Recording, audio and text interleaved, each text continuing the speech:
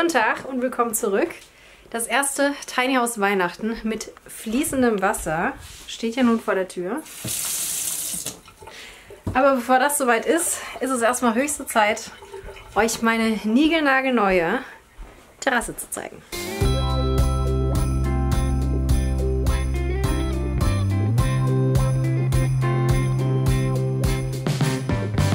Genau genommen ist es ja keine nagelneue Terrasse und das ist das Tolle. Die Maschinenpalette, also die Grundkonstruktion, war schon auf dem Weg in die Entsorgung. Die Bleche an der Seite, die das Wasser abhalten, kommen aus dem Metallschrott und die Platten, mit denen ich sie gleich belege, haben wir Secondhand hier aus dem Ort bekommen. Applaus für meinen Vater, der dieses tolle Teil gebaut hat. Und jetzt seht ihr, wie es entstanden ist und wie es hierher kam.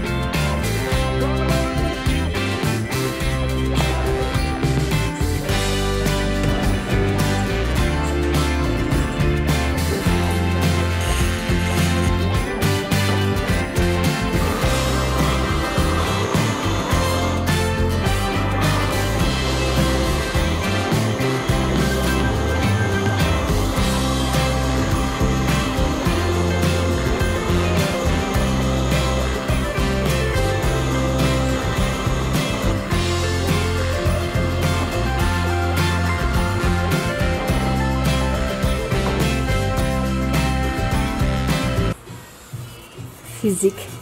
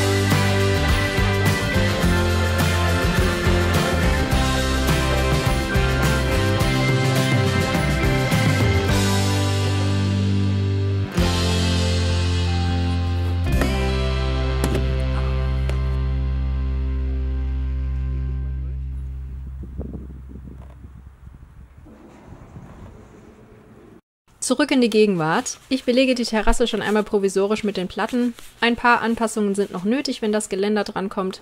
Auch das übrigens aus Altholz. Aber der Anfang ist gemacht.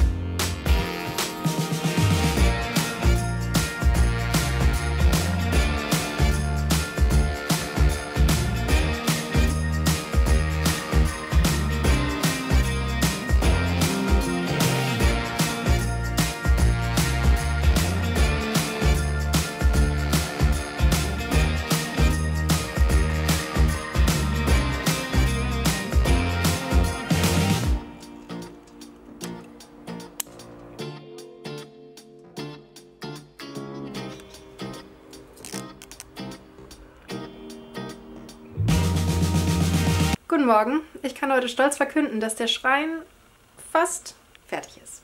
falls ihr jetzt schändlicherweise die letzte Folge verpasst haben solltet, fragt ihr euch vielleicht, was für ein Schrein. Ich meine den hier, der auf meinem Kleiderschrank sitzt. Da sind meine Herr der Ringe Memorabilia sorgsam aufgereiht. Und es gibt zwei neue Dinge. Das hier, eine kleine Miniatur von Minas Tirith, die man sogar aufmachen kann. Und die hat mir eine Zuschauerin geschickt. Vielen, vielen Dank dafür. Ich habe mich wirklich sehr gefreut. Und da hinten eine Miniatur der Wetterspitze, die natürlich hier zu dieser Morgul-Klinge passt und zum Ring. Hier gibt es die DVDs, hier sind die Argonaut und hier habe ich diverse Notizbücher und Hobbit und Silmarillion. Und vielleicht kommen da noch so ein paar kleinere Dinge dazu. Aber jetzt ist es soweit erstmal fertig und ich finde, das kann man auf jeden Fall angucken. Das Jahr neigt sich dem Ende und wie letztes Jahr möchte ich auch diesen Dezember wieder das letzte Video dazu nutzen, so ein bisschen zurückzublicken auf das, was war und auf die Dinge vorauszublicken, die kommen werden. Letztes Jahr haben wir dazu Mario Kart gespielt. Dieses Jahr gibt es ein bisschen Magie. Gemacht habe ich das mit der Home Connect Plus App. Die ist kostenlos und verbindet alle eure smarten Geräte im Haus, sodass ihr zur Steuerung nur noch eine App braucht. Ich habe ja in meinem Tiny House inzwischen eine smarte Heizungssteuerung, die mir als Wochenendpendlerin eine Menge Energie spart. Außerdem ein smartes Schloss, bei dem Schlüssel drüben vergessen nie wieder zum Problem wird. Und nun passend zu Weihnachten noch bunte Beleuchtung von Philips Hue. Im Wohnzimmer oben ist das Deckenlicht ja sehr nah über einem und oft zu grell, wenn man nur Fernsehen schauen oder zocken will. Dafür habe ich jetzt etwas Flauschigeres. Der Lightstrip kommt später raus und wird dafür sorgen, dass man von außen sehen kann, ob ich gerade aufnehme oder streame und man also nicht klopfen sollte. Und Stichwort Klopfen, eine schlaue Außenkamera mit Gegensprecheinrichtung habe ich jetzt auch. Wer ein paar solcher Geräte zu Hause hat, der kennt das Problem. Jeder Hersteller hat seine eigene App, die läuft dann auch immer im Hintergrund. Man muss alles dann also einzeln steuern. Mit der Home Connect Plus App, die ich euch heute vorstelle, könnt ihr jetzt von sehr, sehr vielen unterschiedlichen Herstellern alles in einer App steuern, zum Beispiel über sogenannte Boards. Das heißt, man kann Funktionen anpinnen, die man häufiger braucht. Und man kann sich natürlich Automationen erstellen, wie diese hier. Das ist jetzt zum Beispiel für nachts, das heißt, das Licht hier oben im Wohnzimmer geht aus, unten schließt sich das Nuki-Schloss automatisch ab. Die Heizung von Tado geht auf Nachtabsenkung und die Bosch Außenkamera stellt sich auch scharf. Alles in einem, ich muss über nichts mehr nachdenken, kann ins Bett gehen. Bisschen dekadent für ein Tiny House, aber das kann man schon machen. Ich habe mir das also eine Weile mal angesehen und das funzt alles. Wer es mit den smarten Geräten zu Hause dezent übertrieben hat, kann sich durch die Boards schnell eine Übersicht erstellen und wer zu viel Batman geguckt hat, für den ist die Erstellung einer Automation, in der das Licht im Büro angeht, spannende Musik gespielt wird und irgendwo ein Cape rauskommt, sicher auch kein Problem.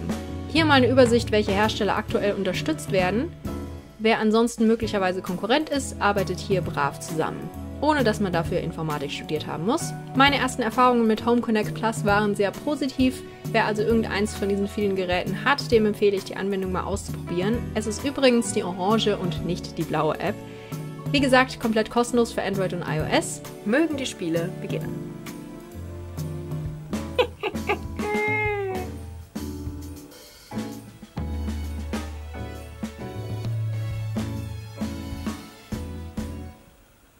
Was war 2021 so los? Ich blicke mal zurück auf meine Vorsätze von Ende 2020. Erstens gesünder essen. Naja, ich habe zwar den Spaß am Kochen nicht wiedergefunden, aber ich habe mich in Sachen Futter tatsächlich angestrengt. Erfreulicherweise gibt es inzwischen auch mehr gesunde, halbfertige Gerichte zu kaufen. Auf Zucker habe ich derweil größtenteils verzichtet, inzwischen auch freiwillig und das tat meinem Magen sehr gut. Zweitens, konsequenter Festplatten sortieren. Ja, ist okay, kann auch besser. Drittens, weiterhin jeden Tag eine halbe Stunde spazieren gehen oder ähnliches. Naja, ich war viel draußen zum Arbeiten am Tiny House oder am Wohnmobil und ich war auch spazieren, aber nicht mehr so konsequent. Oft hatte ich den Drang, mich einfach zurückzuziehen, was nicht hilfreich war. Viertens, Sozialleben reaktivieren. Die Pandemie ist zwar nicht vorbei, aber irgendwie habe ich das trotzdem geschafft. Ich war auf einem kleinen Rave, keine Sorge, der war erlaubt, ich habe Studienfreunde endlich wieder gesehen, war im Europapark und habe endlich wieder an der Oper gearbeitet, inklusive Live-Musik. Auch wenn alles andere dieses Jahr schwierig war, das hat immerhin geklappt. Und sonst so? Der wichtigste Schritt dieses Jahr war sicherlich der Umzug von meinem Tiny House hier auf diesem Platz. Ich kann mir jetzt in meinem eigenen Haus endlich die Hände waschen. Es fahren keine Autos mehr direkt vor meiner Haustür vorbei. Und so langsam bin ich wirklich mal angekommen. Ich weiß jetzt, wo das Haus steht und ich kann ein bisschen längerfristiger planen. Ich habe auch ansonsten ein paar wichtige Dinge für mich wieder in Angriff genommen. Das heißt, ich habe zum Beispiel wieder mit Ballett angefangen. Ich habe eine Therapie begonnen und ich bin jetzt dabei, mich finanziell und geschäftlich weiterzubilden. Alles wichtige Schritte für die Zukunft, die ich für mich so geplant habe. Eine Sache habe ich nicht ganz geschafft, wie ursprünglich gedacht, und das ist euch sicherlich auch aufgefallen. Das betrifft meinen dritten Kanal, des Nerdiverse.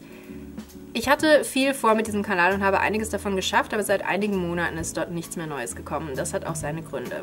So eine Recherche, zumindest in, der, in dem Umfang, in dem ich das gerne machen möchte, ist relativ aufwendig und mir hat oft nicht nur die Zeit gefehlt, sondern auch das Gefühl, dass ich das alles auf dem Niveau machen kann, auf dem ich das gerne machen möchte.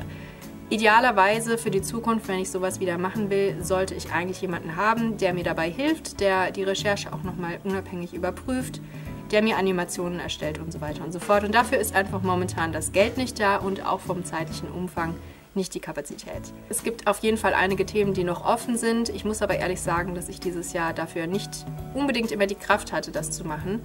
Vieles davon ist ja relativ kontrovers und ich möchte mich einfach gerade da die Zeit sowieso schon etwas schwieriger ist, nicht unbedingt noch zusätzlich in solche Themen wahnsinnig stark reinarbeiten. Es ist gerade schön, dass es mir wieder insgesamt besser geht und ich möchte deshalb die neu gefundene Kraft nicht unbedingt darauf momentan aufwenden. Ich weiß also noch nicht, wann es da weitergeht. Der Kanal ist aber auf jeden Fall nicht vergessen. Ich möchte natürlich nur euch in der Form mitteilen, warum es da in letzter Zeit nicht sehr viel gab. Irgendwann wird es da hoffentlich weitergehen. Ich werde es euch auf jeden Fall wissen lassen. Stattdessen habe ich an anderen Dingen gearbeitet. Eine Playlist auf meinem Kanal heißt nicht umsonst Gesund im Kopf. Das Thema liegt mir einfach sehr am Herzen und ich habe dieses Jahr nicht nur einen Workshop für andere YouTuber zu dem Thema gegeben, ich arbeite auch gerade an einem Kurs für Online-Creator rund um mentale Gesundheit. Wenn das soweit ist, werde ich euch natürlich Bescheid geben. Ach ja, und mit dem Stream habe ich spontan auch wieder angefangen, auf Twitch und auf Englisch. Für wen das was ist, hier ist der Link. Und eine Automation für Streamzeiten habe ich übrigens auch. Licht außen auf nicht stören, Tür zu und oben im Loft ein bisschen bunte Hintergrundbeleuchtung. Was ist mit Vorsätzen für 2022? Ich arbeite ja mittlerweile mit Manifesten. Das sind zumindest in meinem Fall so kleine Zettel, auf denen dann bis zu vier Prioritäten aus unterschiedlichen Bereichen in meinem Leben draufstehen und die werden dann ersetzt äh, oder neu geschrieben, wenn entweder das Ziel, das da drin steht, erreicht wurde oder wenn die Routine, auf die ich dahin gearbeitet habe, fest etabliert ist. Das sind sehr unterschiedliche Dinge.